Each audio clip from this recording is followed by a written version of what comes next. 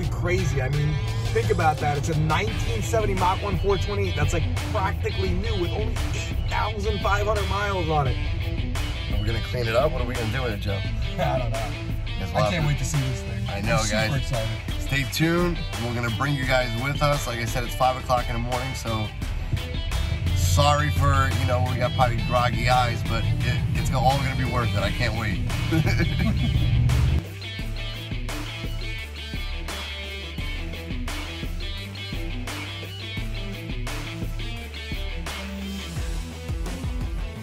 We're here. All right, let's take a quick peek.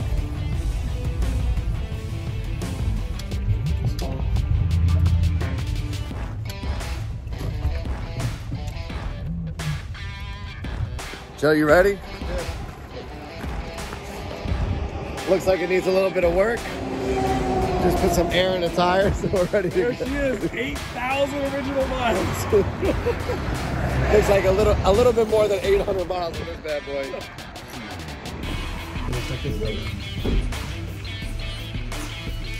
Good.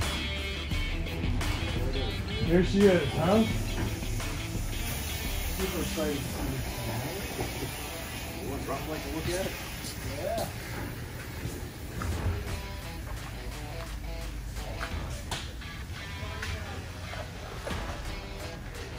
This is still the original undercoating over here.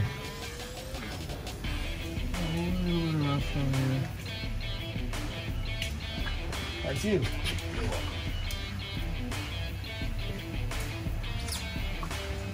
I guess that original undercoating didn't do a very good job of preservation, but you can see all the original red primer over here.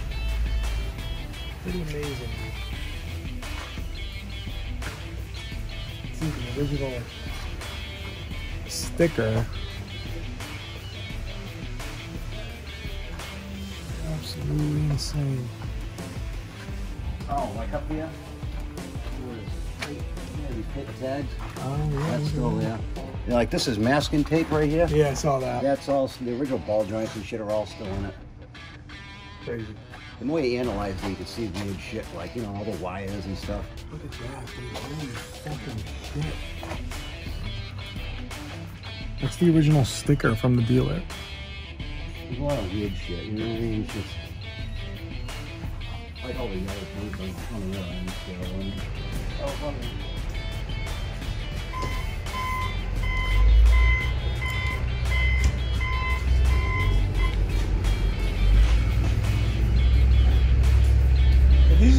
These are the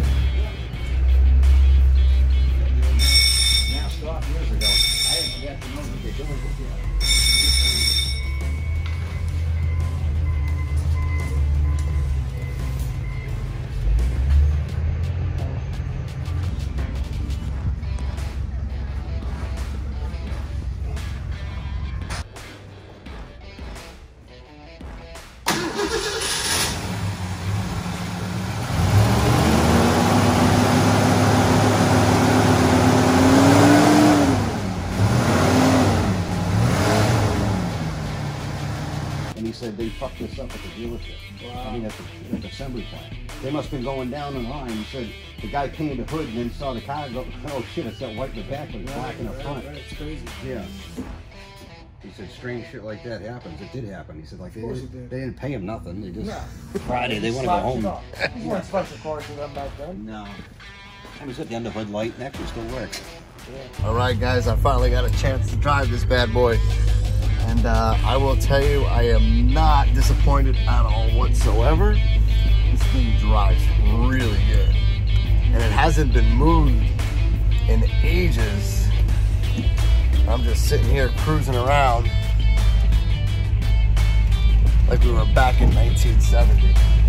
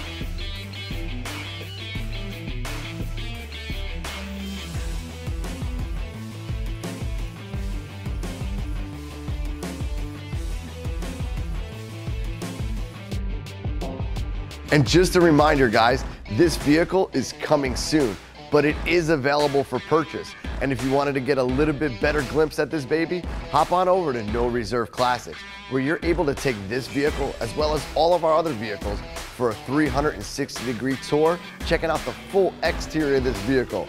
That's right, just give her a 360 degree spin. And after you're done looking at the exterior of this bad boy, hop over to the inside where you're able to see another 360 degree tour. And if you guys have any questions at all, feel free to give us a call at 1-800-562-7815. And enough looking at it, let's talk a little bit more and let's jump right on.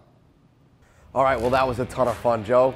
Unfortunately, we got stuck in a lot of traffic coming on the way back, but we finally made it here, man. Look, what do you think now that you see it underneath the light? Absolutely miraculous and amazing, guys. This is one of those cars that you'll just never have the opportunity to see again.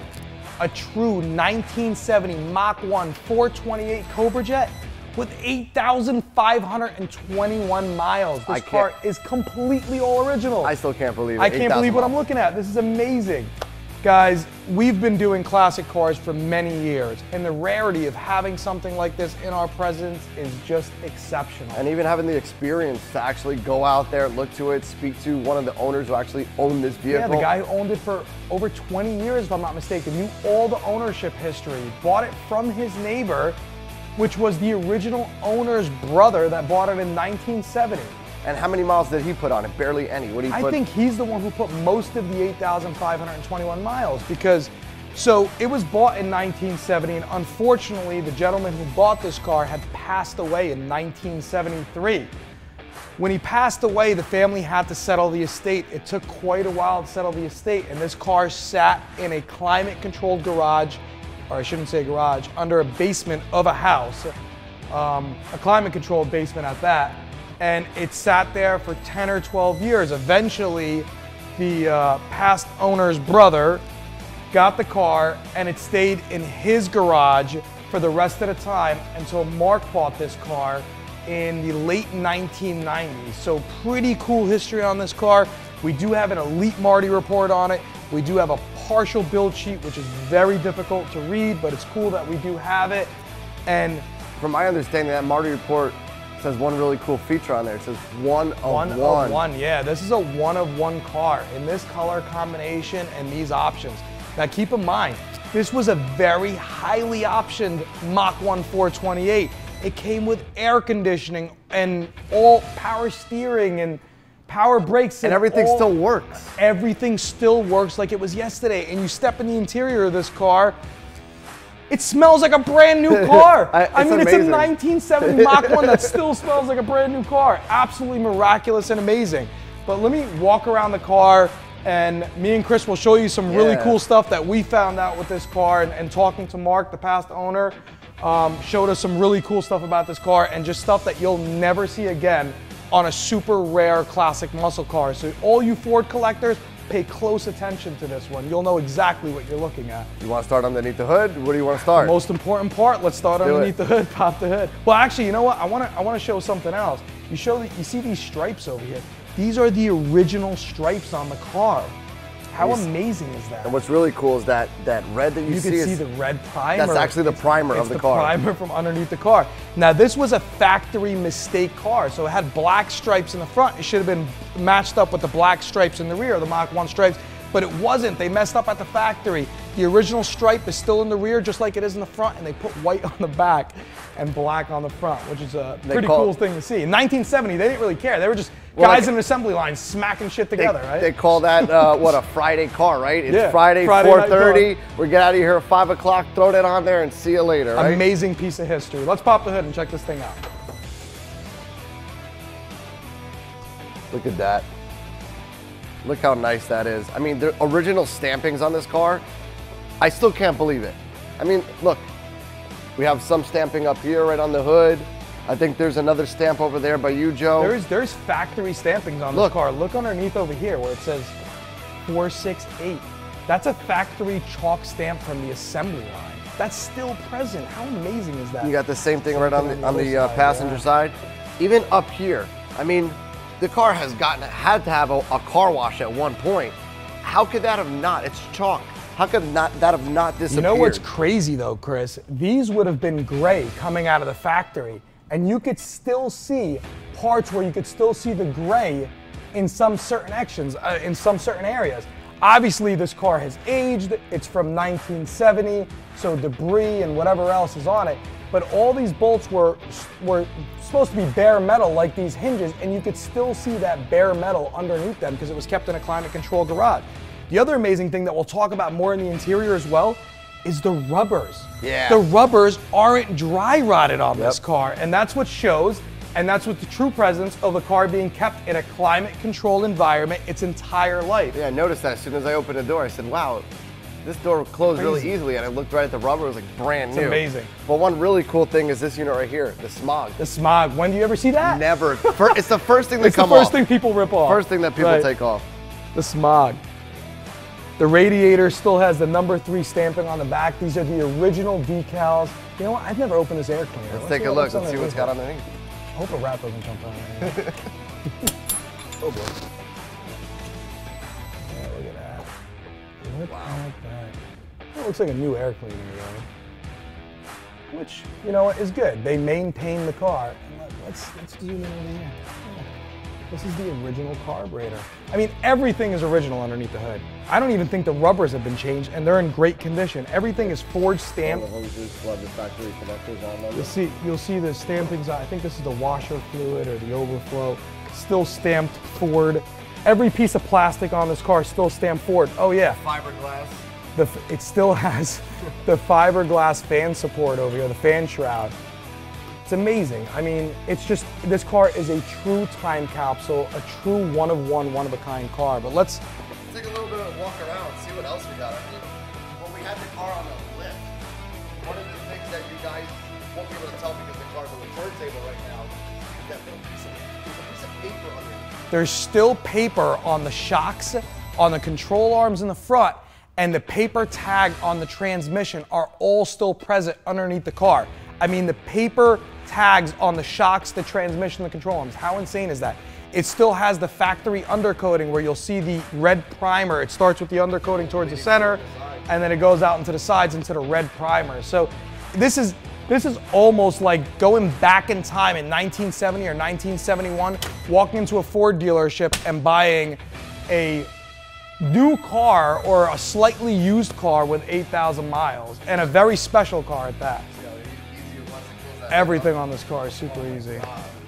Original wheels and hubcaps that are on this car and trim rings, which are actually pretty cool looking. They're growing on me. When I first saw them, I'm like, oh, these are disgusting. But they're, they're actually growing on me. I'm They actually a fan of them. I, I Yeah? like them. Yeah. They're nostalgic. Not really my style. We're getting there. But though. they're we're, nostalgic. we're, we're getting to start being nostalgic. I get it. I guess so. We're so into pro touring and resto mod cars that this is just something that's as new and miraculous as it is for you guys, it is for us as well because we're used to classic car appearances, but cars that are completely different and full pro touring, modern amenities, and essentially modern cars in a classic car body. So this is something that is completely different. The tires are not the original tires on the car, which I would imagine. But original style. Original from the time style period. tires. I think they were changed in the 70s, if I'm not mistaken. I If I'm- can't confirm that, but I think Mark said he believes that it was done. Yeah, would have had uh, BF Goodrich tires yeah, on there. BF Goodrich is what it came with factory. All the original glass, which is in phenomenal, phenomenal, phenomenal shape. yeah, I mean, just some dust on there. That's it though. And we actually, uh, you know, obviously the car is very dirty. We did not take any of the dust off. I started wiping it down and I got screamed at, so I, I stopped doing that. Yeah, that's something that we're gonna have to talk about in a little bit, Joe. I, I'm ready to get the garden hose right now. We are gonna have to I'm talk not into about this, that. Um, I'm into shiny cars. it's, it's I like shiny. good-looking cars. so- Shiny underneath the dust. Yeah, shiny underneath the dust. I mean, to me, it, you know, But even the trim and everything, man, for it being great shape. Yeah. great shape. It's and, it's, and all the parts are there, right? Um, we opened the door, the lights turned on, we beeped the horn. Everything works perfectly. The blow, uh, the steering wheel that's on the car, the wood grain is still in great shape with one minor crack at the top, which is expected, but in great shape. All the rubbers on the body, which we'll talk about more when we circle around to the interior, are in phenomenal shape. But I want to talk about one more thing that I thought was absolutely amazing. I want to pop the trunk of this car. This is something you guys have to see. Look at that. Nothing, no musty smell. You can tell there's never been water in this truck. Does it smell like a dead body in there? No, there might have been one at one time, but there isn't one today. so let's, the first thing we're gonna notice is the carpet that's in here. It's like a plastic with a cloth on the background. Still in great condition. Underneath that is some of the sound deadening material. Now that's got like a paper inlay on top of that. But what's really cool that Joe actually saw, trying to be as careful as I can, is this. The cardboard drop-offs. Yeah, for the trunk drop-offs. They have cardboard closing up the area. How amazing is that? When do you ever see that?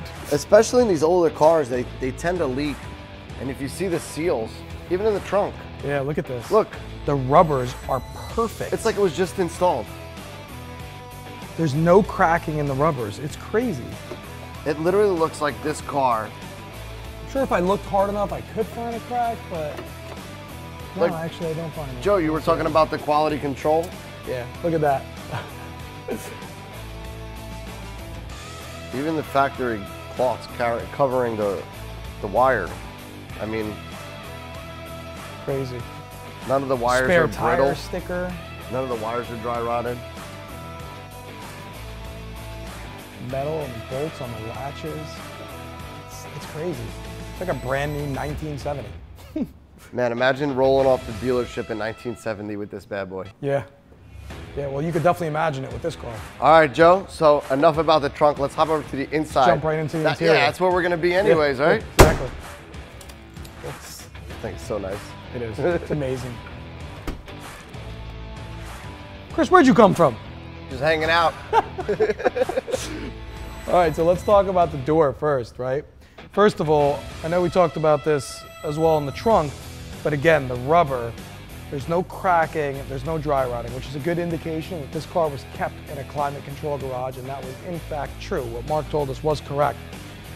Original glass.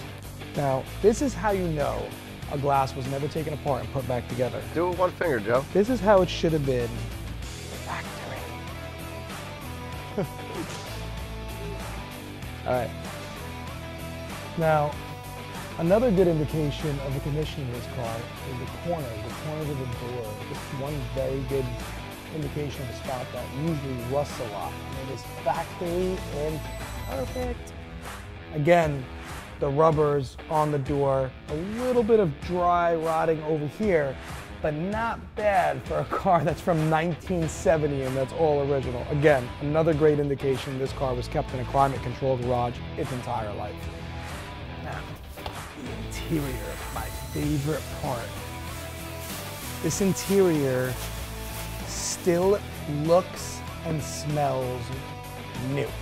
And it's got a lot of cushion still in that seat. Some of those older cars, man, you sit in these seats and your butt just feels like you're touching the floor. The springs are all shot, the foam is shot. But look at this. So beautiful. And that horn blow steering wheel still works. It does have a Wait, slight. where'd you, where'd you just beep? Where- What? That's it. You just squeeze it. That's it. Seriously? Yeah. That's how you. You don't have to take your hands off the steering wheel. You just take this. I steering wheel. never knew that. Yeah. How amazing is that? Look at the technology that they had in 1970. That is great. And just look how the condition. I mean, we've had Door a, a bunch of these seats, Mustangs before. Dash, factory tachometer car, factory option tachometer car. And I'll show you a really good indication that we know that 8,521 miles is correct. By the way, guys, that's 8,521 miles right now. I will be driving this car once I get the right fuel for it. Because this car still does take the 110 Uh, leaded, fuel. yeah, leaded fuel. Leaded fuel. Hey, Joe, actually, you want to grab the keys real quick and let's show them how everything looks all lit up? Yeah, yeah, let me grab the keys. And one really cool thing that I noticed yesterday uh, after pulling this car in and out of the uh, trailer is something that's pretty cool that I like. I started off my life as an audio technician. Major situations. Brick Township's annual summer. The radio still works. But it's not even that it still works, it's still like in new condition. Oh, the buttons are great. You find your station and then that's it. And the speakers actually sound, I don't want to do the copyright, but the speakers actually sound like they're brand new. I got the ignition on and check this out. You guys hear that wind blowing? It's the air conditioning. Super strong. Even the chrome on here is still nice. And it transfers over. Everything still functions. It transfers over from the defroster to the dash to the floorboard. Even the chrome on the shifter. The center console. Oh, Joe, look at this. Oh my God. Where'd you find that? Antifreeze loss. Is there anything else that's cool in there? Yeah, a map A map from what year? 1970. 1970. I'm sure the roads still look the same. This thing is a true time capsule. What else is in there? I Condenser parts. We should put this car on the Antique Roadshow. Let's go. We're gonna go on the road. and look at this. Is the Protecto? or No, it's the actual owner's Ford, so they don't manual. Protecto plates. Wow, that is really really cool. It literally looks like this car came off the dealer line and just sat. Yeah, well, it's like what I was saying before. It's like walking into a dealership and buying a, a slightly used brand new car. Yeah. And you know, I want to talk about that 8,500 miles again. A great indication that I've learned on these cars is look at the pedals on the car. The pedals have essentially no wear on them, which is a great indication to show a super low mileage car. The pedals still look like they're in new shape. Got the buzzer still working. buzzers still work. Everything works on the car. Oh, It's the hard to blinkers. tell, you can't see. See the blinkers, they still work in the hood. That's pretty cool to see. And it's got the factory ticker, Joe. That you Oh, can hear it ticking back and forth. Yeah, I hear it. The clock's even working over here, so when you're driving me around later, I can just watch the uh, the clock go around. Yeah, man, you could watch time fly by. There you go. I'm Or go fun. back in time. I can just rewind it and I can go back in time. Being Yeah, around this car. I feel like I went back in time. even the, Which the Back to the works. Future is like one of my favorite movies, so this works out for me. What's in the glove compartment? Is there anything in there? No, just uh, No hopes other, and dreams. no other cool finds? hopes and dreams. and man. dreams. I'm sure that uh, the more we look into this car, I mean, we've had it only a couple hours, and we're already having a blast. I mean, just simply unhook your seatbelt and let's yeah. go for a When ride. do you ever see that? the original seatbelt hook. It still has the the elasticity on it yeah. to, to hook it back up there. Crazy. Absolutely crazy. Man. Even the back seats. The back seats, all the lighting still Headliner's in great shape. I saw that yesterday. Got our seat belts that, you know, people take those out, weight reduction. Even Joe, did you notice the choke on this car too? No. The choke is still functional. Uh, yeah, the carb choke. And if you notice too, later on we'll, we'll get a video clip of it. When you start the motor, there's actually a vacuum line that opens up. So when you put the ignition on, it chokes the motor out. Wow. So when you floor it, it actually opens up and releases more air into the engine. Did you Wow. notice that on the, no, on the side of the that. carburetor? Yeah, no, that's great. That's awesome. Yeah. I don't know, man. This thing's really cool. We're Should I keep it? we're really what? No. Should we keep it? yes. Should we keep it in yes. the collection? No. No. No. No. Well, we're, we're really lucky to actually have this opportunity yeah, absolutely. um, to have a vehicle like this and to actually be able to speak to one of the owners and feel the real American, I don't know, history. history. car. Yeah, that's crazy. we'll never have this opportunity again We'll never have life. this opportunity again. And and for everybody that's watching this right now, again, for a Ford collector or Anybody. just looking for an, a truly amazing investment grade car, um, this is a once in a lifetime opportunity. It is very rare that cars like this come to the market. And it is very rare comes to that the you market. have the if it comes to the market, and if it's and it's very rare for someone to be able to have the opportunity to acquire um, a piece of history like this. All right, now that we got her all filled up, let's start her up, take her for a drive. Here we go. We are driving this 1970 Mach 1. Um, it's now got 8,524 miles on it.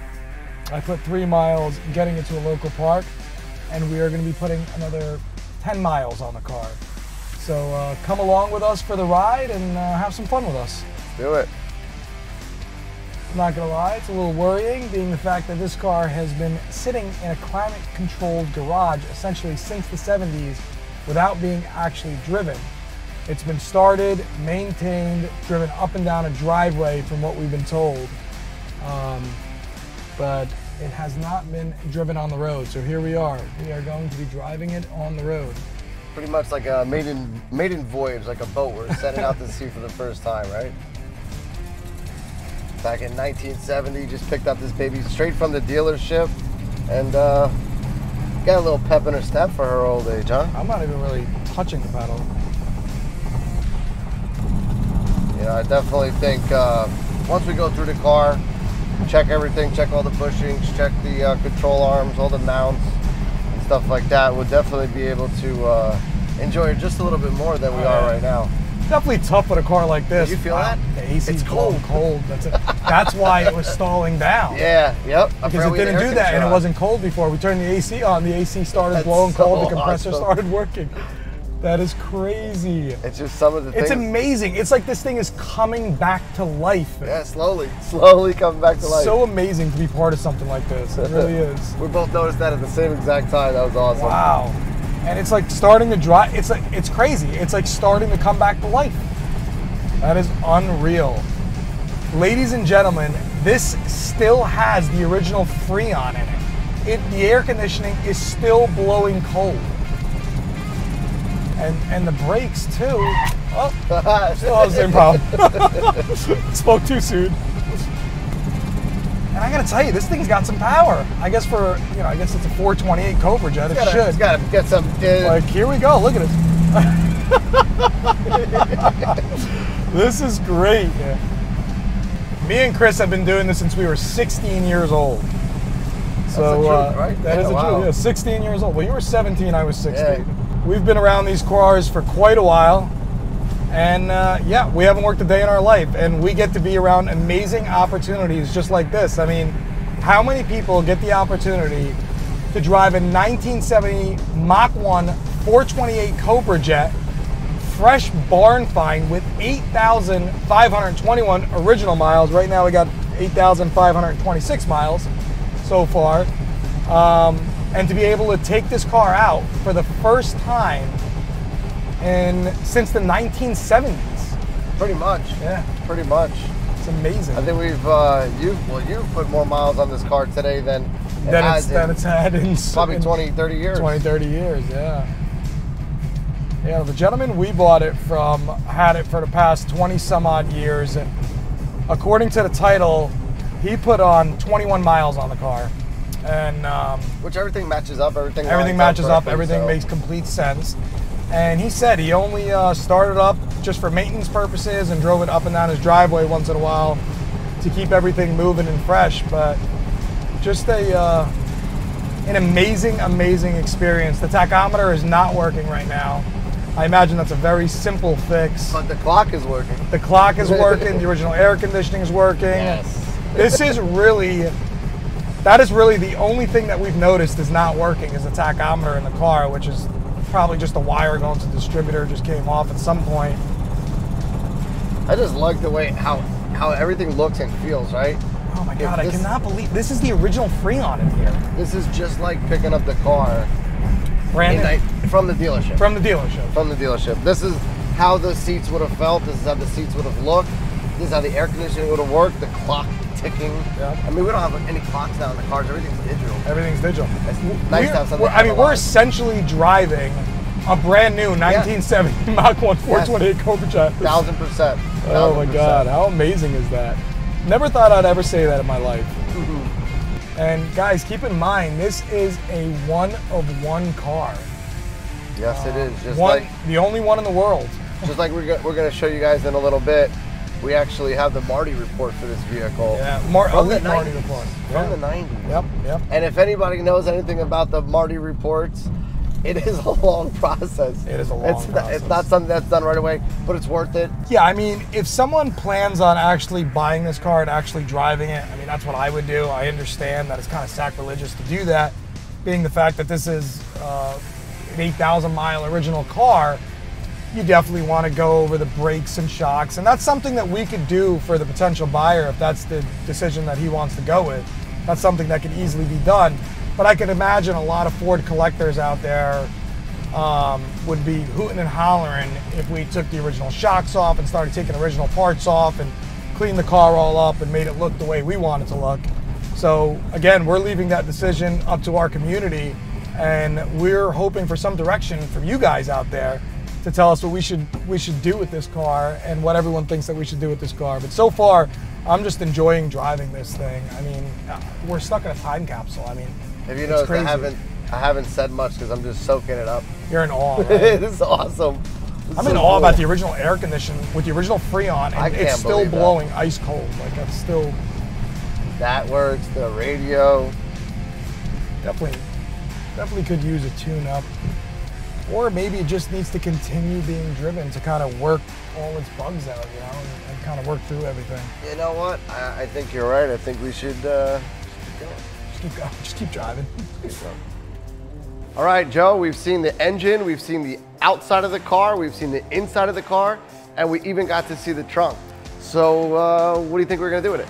I'll clean it up. I mean, this thing's disgusting, Whoa, right? It's whoa, got this whoa, like Whoa, whoa, whoa! This car, guys, this car has sat for a very long time in a climate-controlled area, acquiring this dust for over almost 50, over 50 years already, and we can't just simply just take that away. What are you doing? What are you doing? Wait, wait, wait. Can I just put it? I don't- just, can I just put some like spray wax No, or waterless wash? I wax? think I think we should let the people decide. I mean, it's dirty though. I mean, it's a dirty But car. that's that's not dirt. That's time. it looks like dirt to me. It took a lot of time for me to acquire this this face. I just one spray. No. just the, Wait, what are you doing? just the front what are you doing? No, I think we should let the people decide. All right, guys, we'll keep it up to the No Reserve Classics community that follow us and everybody on our social media and everybody who pays close attention to us. We're going to let you guys decide. We're going to keep the car just the way it is right now, and uh, we'll see what happens from there, right? Yeah, so leave a comment down below and uh, let us know what you guys think. Yeah. Should we clean it up or Yeah. should we keep it original? We will be reading all of your comments. We'll be uh, responding to all of your comments. So respond to us and let us know what to do. We're in a bit of a pickle here. I like that. dude.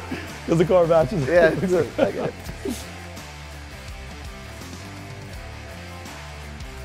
And guys, I'm Chris Mazzarella, and you've been watching No Reserve Classics. And if you guys have any questions, feel free to give me a call, Chris, at 1 800 562 7815. And if you guys haven't done it already, make sure you hit that subscribe button because you never know. Your dream ride could be in the next video.